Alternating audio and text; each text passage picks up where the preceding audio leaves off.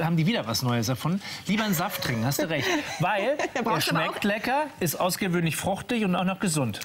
brauchst du auch eine Frucht, eine Saftpresse dazu und wir haben die unterschiedlichsten Modelle getestet. So schön kann der Hans-Ulrich Pöhnack bei uns, liebe Guten Zuschauer. Morgen. Guten Hi, Morgen. grüß dich. Na? Na?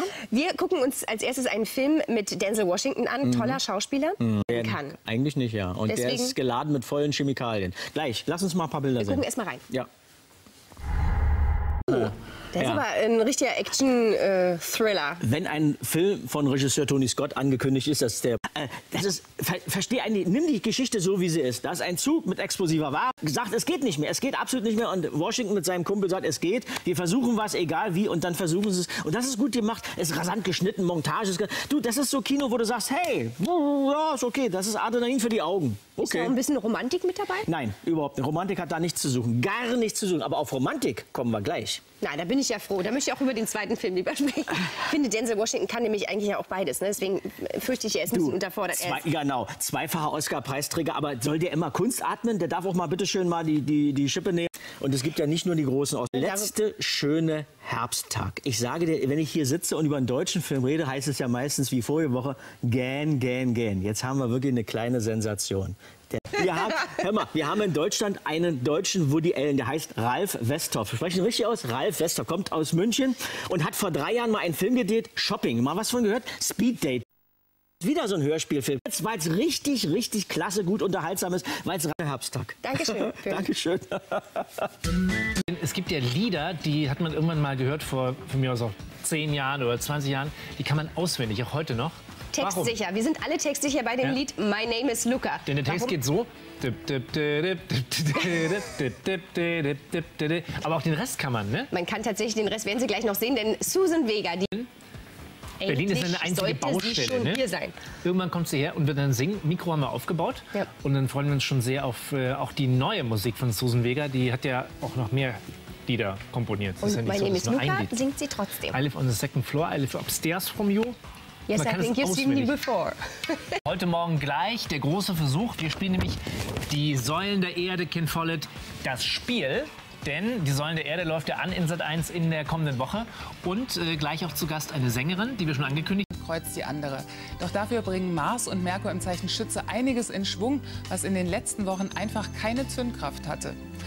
Kennen Sie das? Sie haben unglaublich gute Ideen und teilen die dann auch noch mit Freunden, doch es kommt leider nie dazu. Sich zum Beispiel öfter zu sehen, mehr Sport zu machen, öfter mal wegzufahren. Man bleibt aufgrund alltäglicher Aufgaben im eigenen Haufen guter Vorsätze und Pläne stecken. Damit Sie im Moment nicht noch mehr anhäufen, geht es jetzt darum, mindestens ein Vorhaben umzusetzen. Mond befindet sich im Zeichen Steinbock. Da kann es auch was ruhiges, meditatives sein. Dieser Mondstand ist nicht unbedingt die ultimative Stimmungskanone, doch für kontemplatives Sein immer zu haben. Schützen wissen von Natur aus viel, zumindest wirken sie meist so. Im Moment ist es angesagt, aktiv für mehr Weisheit zu sorgen. Besuchen Sie heute einen Vortrag oder lesen Sie, um sich dabei sauwohl zu fühlen. Bei den Steinböcken ist die Laune so lala. Je weniger sie danach gefragt werden, desto besser. Denn für sie ist es immer auftragen, so gerne mitmachen würden. Die Luftzeichen sind als Animateure gefragt. Zwillinge. Bei den Wasserzeichen räumen Fische jetzt aufkommende Hindernisse charmant aus dem Weg. Sehr zur Freude von heute ist Sternzeichen Widder. Liebe ist eine Komposition, bei der die Pausen genauso wichtig sind wie die Musik. Senta Berger. Einen schönen Pausentag wünsche ich Ihnen. Tram von Hand aufs Herz. Und natürlich Hans-Ulrich Pönack, unseren Guten. Filmkritiker. So, das ist ja im Endeffekt so ähm, ne, das äh, Objekt, das Angstobjekt, ne? Hans-Ulrich Pöhnack, der Kritiker. absolut, ne? Angstobjekt, Und für ja. dich das Angstobjekt. Objekt der Kritik. Natürlich, ne? natürlich. Wie fühlt sich das an, neben so einem, äh, das ist natürlich schon ein ganz, ganz harter Brocken hier zu sitzen. Nichts? Falsches sagen. Ich fühle mich dem gerade so gewachsen. Aber ich durfte auch nichts anderes sagen. Wie oft triffst du denn auf die Schauspieler, die du kritisierst? Gar nicht. Gar nicht, ne? Ich will keine Nähe haben, weil das bringt ja dann schon wieder Vertrauen. Eins Ausnahme ist Götz George. Hast du schon mal Angst gehabt? Oh, wenn ich den jetzt treffe, der habe ich ja so kritisch. Nö, ne? Nö, auch gut. Du, du, du, nö. So, Sonja spielt ja mit in Hand aufs Herz und da gucken wir mal rein. Alles ist möglich. Ja, Wollten wir eigentlich vermeiden, aber setzt euch lieber hin. Ähm, am, der Montag Beweisvolleyball übrigens, spielen können wir. am Montag übrigens äh, startet hier in Sat 1 die Säulen der Erde von Ken Follett. Und es gibt ein ganz tolles Spiel. Matthias Killing zu Gast mit Karen Heinrich. Wir. Ja. Beide sind schon ganz Gast stimmt auch gar nicht. aufgeheizt, Gast ist schön. Jetzt weil Donald Sutherland kommt.